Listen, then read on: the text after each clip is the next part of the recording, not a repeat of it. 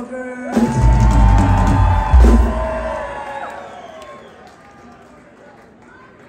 wrote this song when we were hanging out on an island.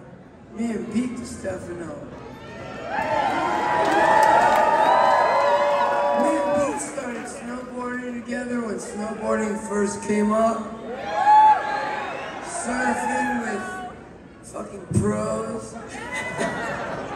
no shit, I don't know what I was thinking of. But, have time of my life in the great outdoors. The great outdoors, you know, I want to talk to my generation and I want to talk to the generation beneath my generation. Look, these guys are going to be dead in like 10 years, guaranteed. You feel me?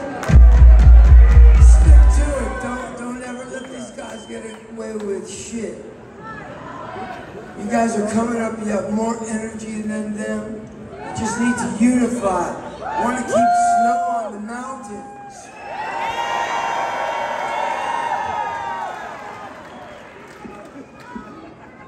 Wow.